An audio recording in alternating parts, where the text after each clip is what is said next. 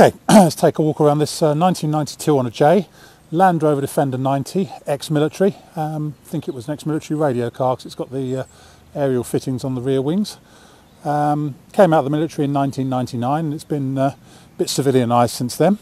Finished in the, uh, the usual NATO IRR drab. Originally it would have been uh, uh, black and green camouflage and the, the black is still showing through, is now showing through in a few places. Usual army paint job. Um, not, uh, not done with uh, a view to um, uh, aesthetics, shall we say. Um, but it's rather nice actually. Fitted with a 200 TDI engine. Uh, had a proper reconditioned 200 TDI engine fitted in 2009, and it's got quite a good quite a good spec on it. Excuse me. Um, it's got a matching set of five um, mud mud spec tyres on on modular rims. Yep, on black modular rims. Uh, it's got checker plate on the modesty covers and the wing tops. It's got front A-bar, um, steering guard and front diff guard. It's not been lifted by the look of it, standard height. Uh, and what else it got externally? NATO rear bumperettes. It's got a tow bar and it's also got civilian um, electric plug as well. Slightly different in the front. It's been fitted with um, civilian Land Rover front seats and centre cubby box. It's got uh, um, dash console and a nice radio CD with iPod connector. It's also got soundproofing in it in the usual areas on these, on the headlining and the doors and stuff to stop them from drumming quite so badly. Um, also got lowered bulkhead behind the uh, driver's seats and the passenger seat to give a bit more room. And in the back we've got twin bench, twin rear bench seats, all uh, as they should be, and say noise deadening stuff in the back here as well. Right, let's walk around it and pick out some good bits and bad bits. Not many bad bits, so apart from you know the paint is standard army stuff really.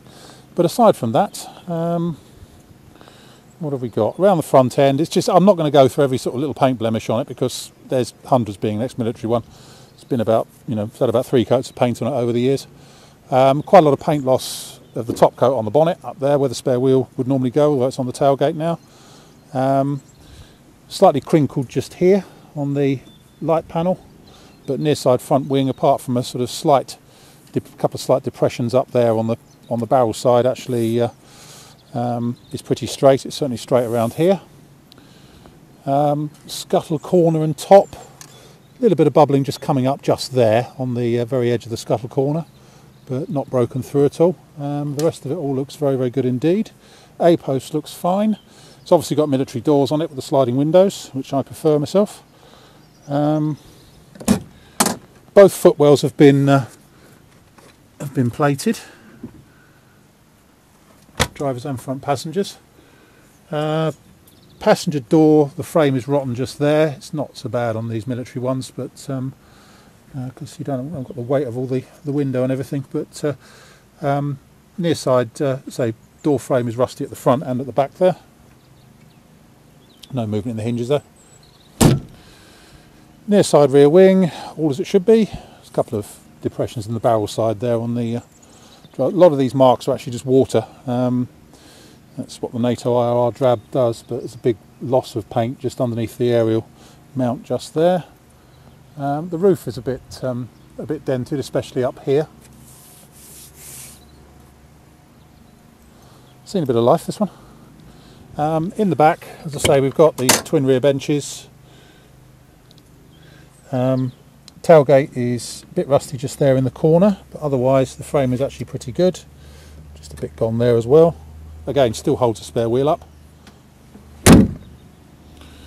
Uh, paint loss on the offside rear quarter. Um, looking down the offside looks pretty straight down there. Offside rear wing all good. A few diesel stains here and um, so a large area where the black's showing through just there and on the um, on the tub top trims.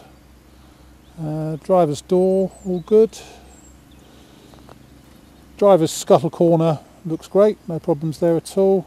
Tiny, tiny bubble just coming up just down the bottom there, just where the wing touches it. Um, and a little bit of bubbling just and cracking just coming up there on the A post, but otherwise all good. Uh, offside front wing, slightly dented here and down here, not too bad. Um, not bad at all really, but uh, a little bit dented. And in the driver's side, again, framers in the front corner isn't brilliant, but uh, still does the job. Um, the seat covers are on because the seats have got tears in them, and so they are civilian seats rather than the original military ones. A bit more comfortable, and the footwell has been um, been redone. Uh, but that's about it, really. It's rather good.